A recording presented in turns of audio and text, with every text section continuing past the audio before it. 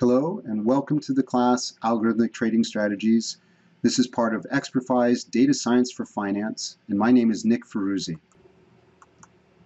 First of all, the agenda. The agenda is broken into five parts. First part is an industry overview and review of mathematics.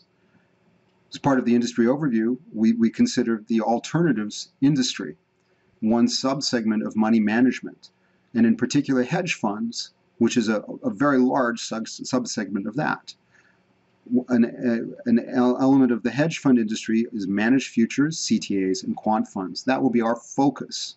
We have to know where it fits, how it's growing, and how it's growing at the expense of other types of strategies.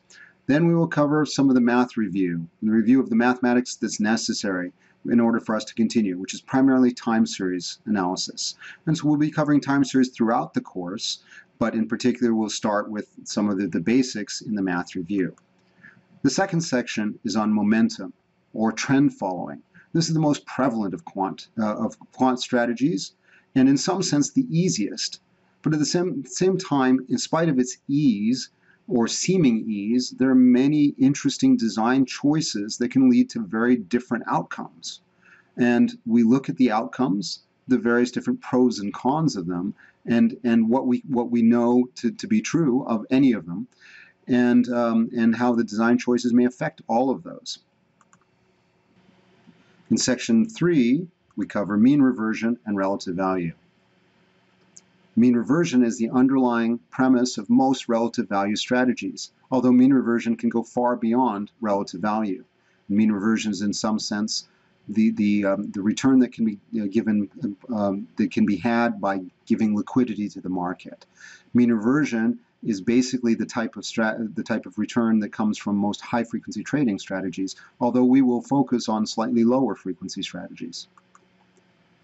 Section 4, we cover carry, value, and portfolio strategies. Carry is the primary source of return for most long-only funds, as well as many, many trading ideas out there and everyone tries to avoid negative carry strategies if at all possible. Carry is something that pays for many strategies. This is something that we have to understand in spite of the fact that carry returns can be very erratic and sometimes can lead to significant underperformance. Carry is an important part of a diversified portfolio. And this is true of value as well, because you may have heard that value doesn't always work but value is again an important source of diversification. And we look at portfolio strategies as a way of combining all of these strategies into, into broader, more stable performance. Finally, we look at the curse of overfitting.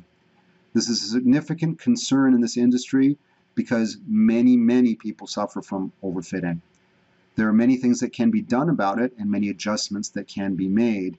Much of this is actually new and ongoing research, but overfitting is something that doesn't just hurt fund management or algorithmic trading, it's also a problem in science in general, as you may have heard of p-hacking or irreproducible results. This is just our own form of the same problem, and we'll go into some detail into how to avoid it.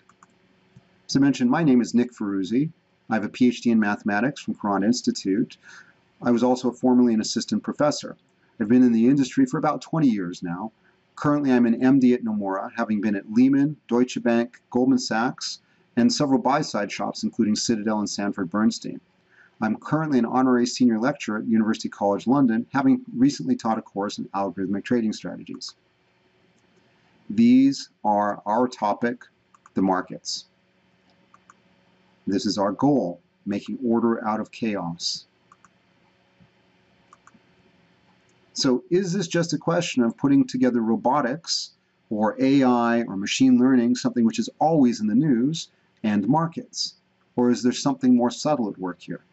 What I hope to show you is that all the different strategies out there, just out of the box, don't necessarily work.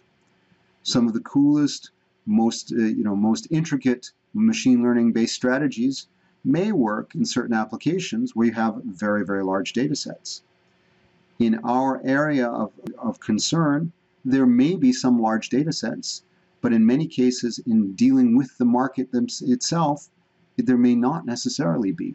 And as a consequence, the more complex the strategy, the more the more chance of, of the cursive overfitting.